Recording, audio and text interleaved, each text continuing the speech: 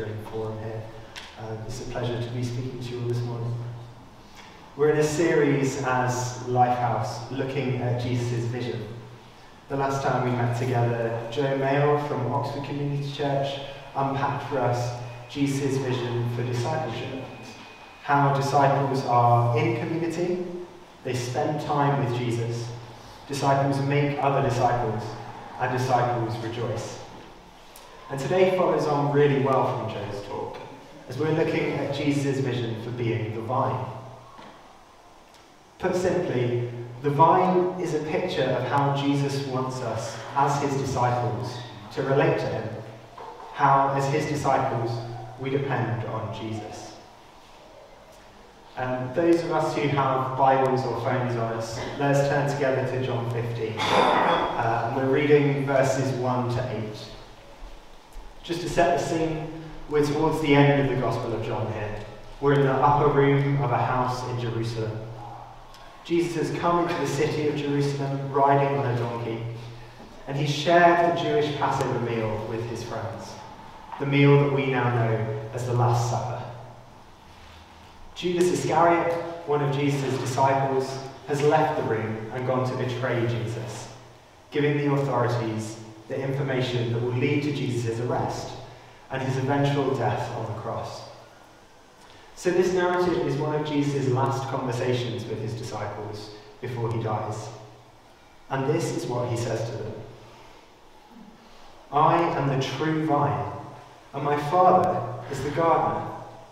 He cuts off every branch in me that bears no fruit, while every branch that does bear fruit, he prunes so that it will be even more fruitful.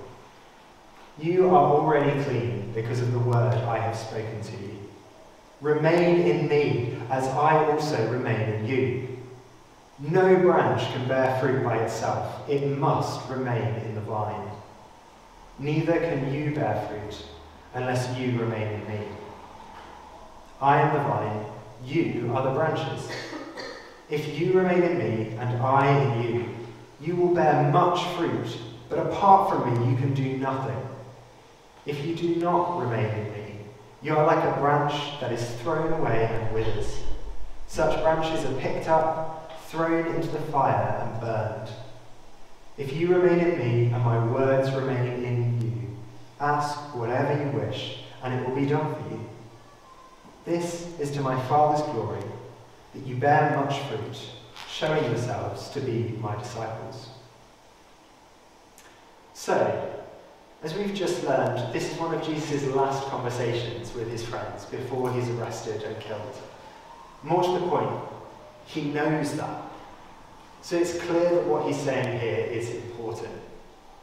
It's part of a longer conversation in the upper room of this house in Jerusalem, where Jesus prays and commissions his disciples and he prepares to go to his death. And here we have a story about gardening. Unlike most of Jesus' parables or images, on the surface this one is pretty straightforward. We know who is who in the picture. We don't have to go into loads of interpretation to figure out what the vine means. Jesus is the vine. He's the central life-giving trunk of the plant. His Father, God the Father, is the gardener, pruning branches and removing those that do not bear fruit. The disciples, the eleven gathered in the room with Jesus, are the branches. They're connected to Jesus the vine, and they're making grapes. Hopefully, this doesn't just apply to the 11 original disciples, it applies to us too, as we follow Jesus and pursue relationship with him. But it says there are also branches that are cut off from the vine, branches that do not bear fruit. Looking at the wider context of the passage, the most immediate example of that to us is Judas Iscariot, who has literally just left the room while the other 11 disciples have remained with Jesus. Judas has been with Jesus from the early days. He's one of the original crowd. Yet he's not remained in Jesus. He has left to hand him over to the religious authorities who want to kill him in exchange for money. The vine would have been a familiar image to the disciples. In ancient Israel, they're grown everywhere. It was the perfect climate for growing grapes. But it wasn't just visual familiarity that Jesus taps into with this allegory. Throughout the Old Testament, the Jewish scriptures that we have as the first part of the Bible, the nation of Israel is referred to as a vine. But this is often with a negative emphasis. It compares Israel to a vine that hasn't achieved its potential of bearing fruit. Throughout the narrative of the Old Testament, the nation of Israel fails to live up to their identity as God's people. But there is good news. Jesus Christ, the Son of God, is the true vine. He has come to be everything that Israel couldn't be. Where Israel fell short in being ambassadors of God, Jesus does not. He is the perfect representation of God the Father. Anyone who has seen me, says Jesus, has seen the Father. And Jesus desires to have relationship with each and every one of us. Jesus' vision for being vine is a vision for relationship. Together, we're going to look at three aspects of this relationship an abiding relationship, a fruitful relationship, and a dependent relationship. Firstly, we are called to an abiding relationship.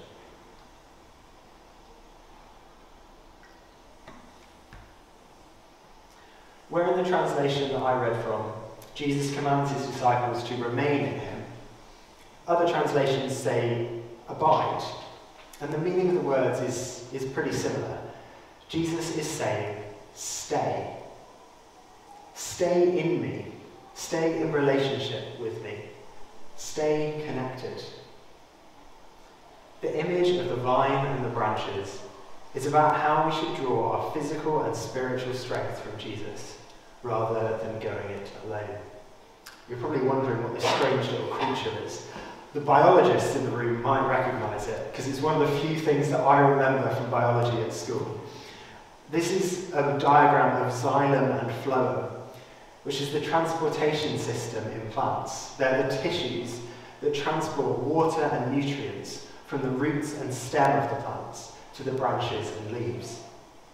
If I break a branch off a tree, the xylem and phloem in that branch aren't connected to those in the trunk of the tree. They're cut off from the source of nutrients. So in this allegory, Jesus is saying, I am your source of nutrients.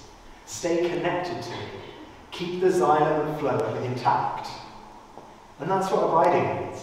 It's to dig into Jesus, to draw our spiritual strength from him and him alone. And that's what the Apostle Paul writes about when he writes of being in Christ. It is a deep relational connection that relies on Him to sustain us, to keep us going, just as the stem and the roots of the plant maintain the branches. Jesus promises that if we remain in Him, He in turn will remain in us. When I was baptized, someone shared this passage with me, and her message was Chris, it's simple, it's straightforward. If you remain in Jesus, he will remain in you. So there's a simplicity and a solidness that can be found in our relationship with Jesus. Because at its heart, it's completely grounded in what he's done for us through his gracious sacrifice on the cross, where he died in our place. There is nothing we can do to drive him away. No mistake that we can make that will wreck this relationship if we choose into relationship with Jesus. But just because it's simple doesn't mean that it's easy. Sometimes staying or remaining in Christ is staying where you are. It's like resting on the sofa after a long day. But sometimes it's more like standing fast or standing your ground in battle where you dig your feet into the ground to get good footing, you lower your centre of gravity, and you brace for impact. There's a digging in. It's not a passive word. Abiding is an active seeking. It's a pursuing of deeper and deeper relationship with Jesus, of greater reliance on him. We have a choice to go deeper with Jesus, to foster this attitude of abiding. It's this spiritual training that Nikki was talking about earlier. We can grow our faith muscles, our abiding muscles, through disciplined practice. Let's think about it this way. For some of us, faith is like a pair of loose fitting trousers. It's comfortable, it keeps us covered, it does the job, it's warm, it's cozy. But when times get hard and you have to get moving, running around, that's when your trousers start to fall down. And when your trousers are around your ankles, that's when you trip, fall over, and hurt yourselves. But being disciples, choosing to abide in God and choosing to pursue ever deeper relationship with Him, that's like choosing to put on a belt with the trousers. I know that if I'm wearing a belt, my trousers are likely to stay up no matter how hard I have to run. No matter what life throws at us, if we are abiding in Jesus, deeply rooted in Him, we can know that He is with us too, and that will keep our trousers of faith intact and on our bodies. So, what is our belt? What does abiding look like? It's not an easy, oh, here's four points, go and do them, and your life will be changed forever. Abiding in Jesus, relationship with Jesus, is the story of our lives. It is written over years, and for each of us, that will look different. That being said, here's four points that might help us grow as disciples of Jesus.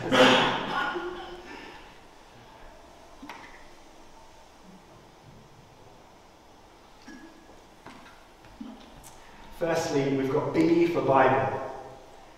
There's a challenge to go deeper in how we read the Bible, learning its lessons, and treating it as having life changing power, which it does. It's the Word of God, it transforms us and renews us. There's a challenge to read it like that. We can study it, we can mull it over in our minds. That's what Psalm 1 talks about when it describes a person whose delight is in the law of the Lord, who meditates on it day and night. We mull on God's word and we find truth and life in it. E is for examine. I haven't spelled that wrong.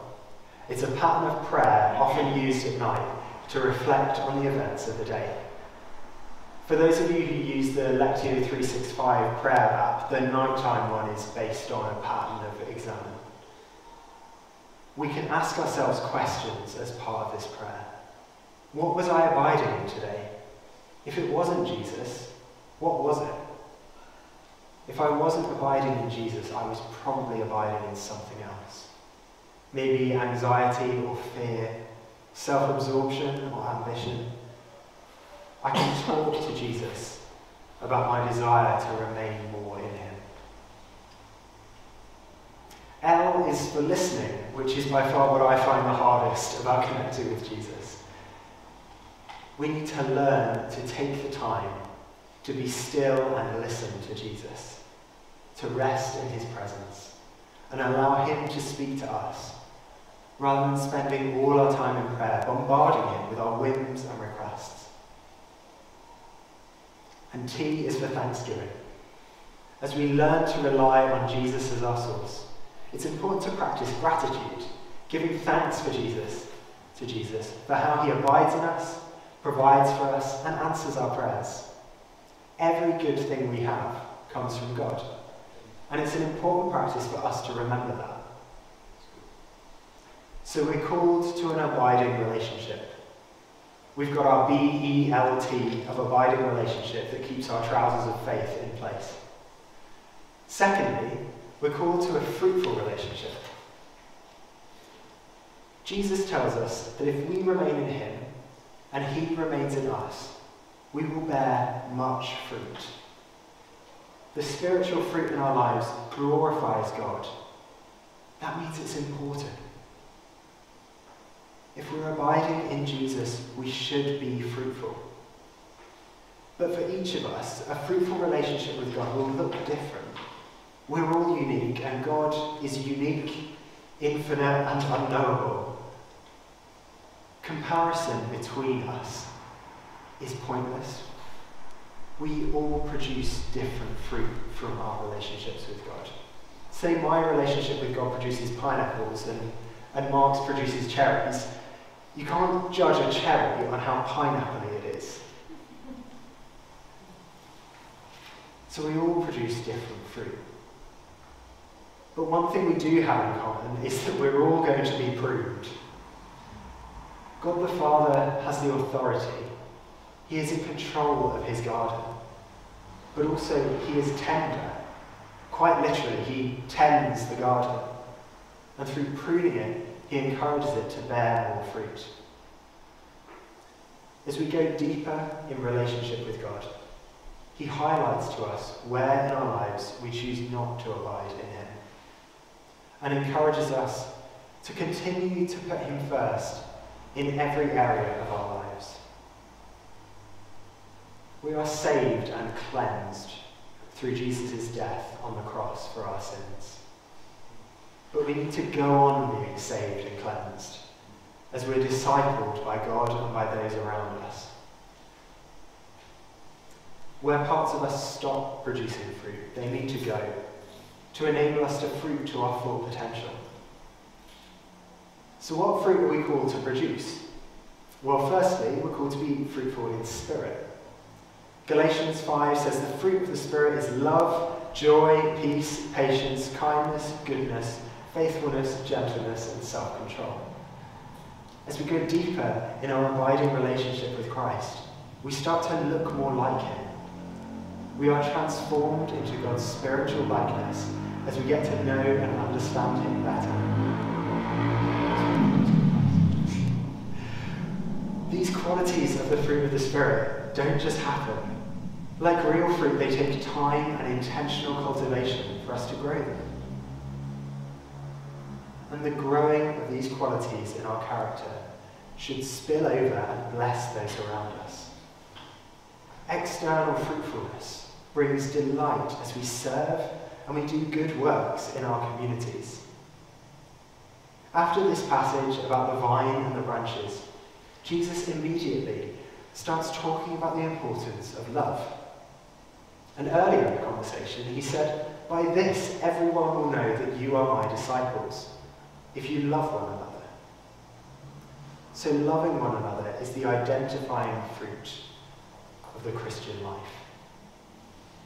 In the same way that you can tell an apple tree from the fact that it has apples on it, or a grapevine from the grapes that are growing, you should be able to tell that we're following Jesus by the way that we love one another as Jesus loves us. As each of us is transformed more and more into Jesus' likeness through abiding relationship with Him, so too is Lifehouse Community Church transformed to more accurately reflect the glorious person of Jesus Christ. We're called to be faithful in prayer.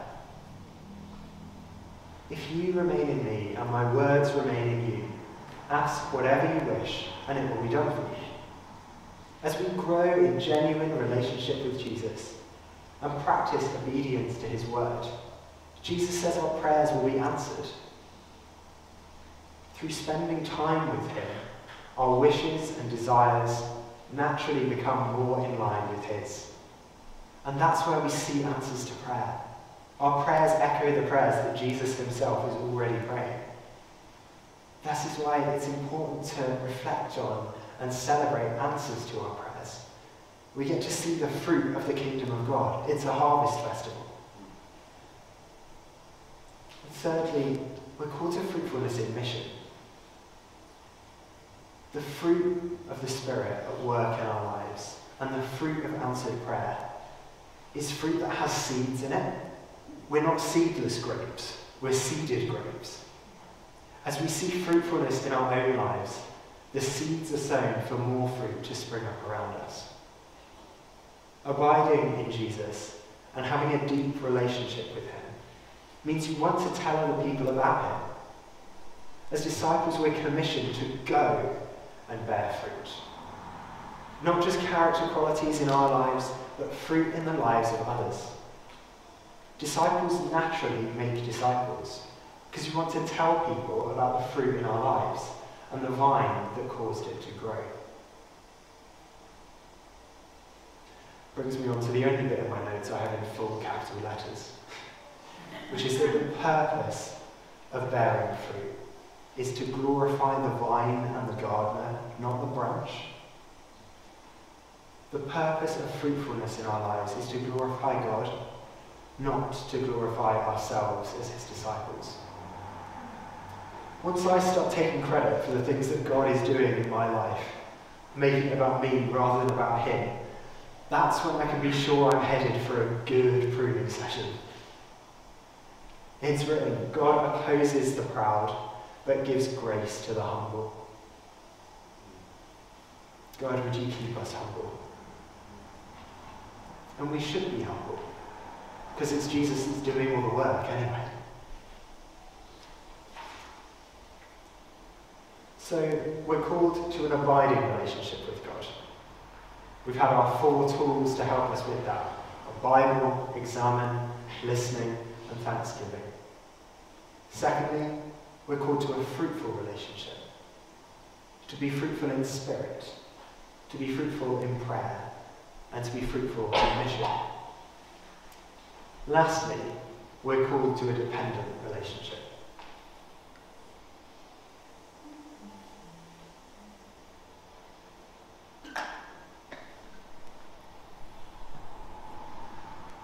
Our connection to the vine is dependent on our abiding relationship with Jesus.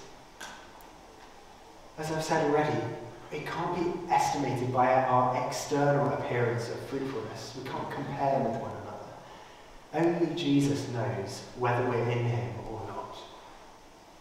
From what I can tell, none of the 11 disciples that were there for that Last Supper knew that Judas would be the one to betray Jesus. After all, he'd been there with the rest of them for the missions, the teaching, the miracles, the spending time with Jesus. Over those three years, he must have professed some sort of allegiance to Jesus. But Jesus knew the true condition of his heart.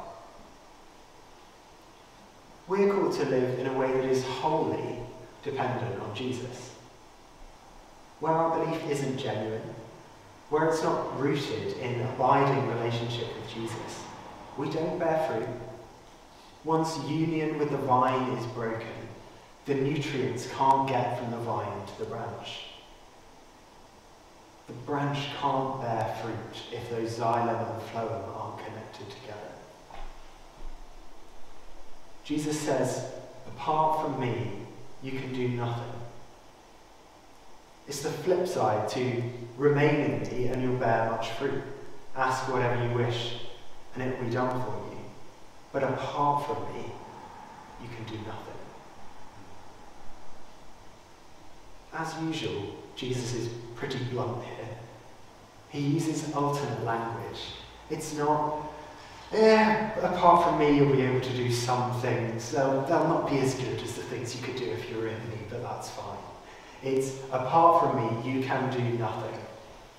Nothing. And the image of the vine further emphasizes this alternate language. If you do not remain in me, you are like a branch that is thrown away and withers. Such branches are picked up, they're thrown into the fire and burned. I've been working with wood for quite a bit over the last few years, and I found this really interesting. For most trees, if you chop a branch off, you can use it for something, you can turn it into planks.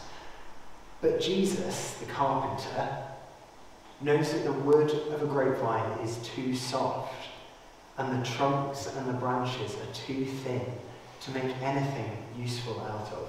This is a vine on the right here. It is so gnarled and twisted that you can't get any straight planks from it. And when you go to dry the wood, it splits like crazy because vine wood has such a high moisture content. It's those xylem and phloem again. It's too saturated with sap to be able to build anything from it. Even now, in modern times, when our technology for building and working with wood has come on so much, people still don't build stuff with grapevine wood. All it is good for is burning. When you search grapevine wood on Google, most of what you're given is charcoal or wood for burning and smoking things. A lifeless vine branch bears no fruit, and even its wood is good for nothing but burning. It's right there in Ezekiel 15. It says, The word of the Lord came to me. Son of man, how is the wood of a vine different from that of a branch from any of the trees in the forest? Is wood ever taken from it to make anything useful? Do they make pegs from it to hang things on? And after it is thrown on the fire as fuel, and the fire burns both ends and chars the middle, is it then useful for anything? If it was not useful for anything when it was whole, how much less can it be made into something useful when the fire has burned it and it is charred? Without Jesus, we couldn't save ourselves. Our fate was to be cut off forever. Without Jesus, we are all fruitless branches. We're fit for nothing but throwing in the fire. Without Jesus, we are nothing. We are burned vinewood. We are split, charred, and useless. And it is from this point, this humble perspective, this level playing field of grace that Jesus chooses to begin his transformative, saving work in each one of us. Just as Jesus and his disciples broke bread together just before the passage we've looked at today, we're going to take communion now. We know the fruit of the vine, the wine of communion. It's a symbol of sacrifice and it's a symbol of love. And we enjoy this union of being the branches of Jesus' vine, only through his blood shed on the cross for us. We know that as Jesus' disciples, we need constant pruning, constant cleansing. We take communion to remember that our sinful bodies are made clean by Jesus' broken body, and our souls are washed through his most precious blood. And because of that gift of grace, we may evermore dwell in him, and he in us.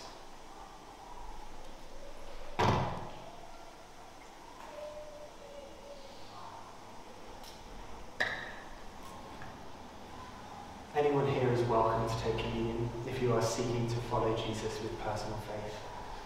If you don't want to take part for any reason, we'd encourage you just to use this time as a quiet time of prayer and reflection. Uh, but we do have bread and wine up on the table there. Rich is going to come and play something for us. Um, if you don't want to get up and get it, you can ask someone to get it for you. So yeah, I'd encourage you to make your way to the table.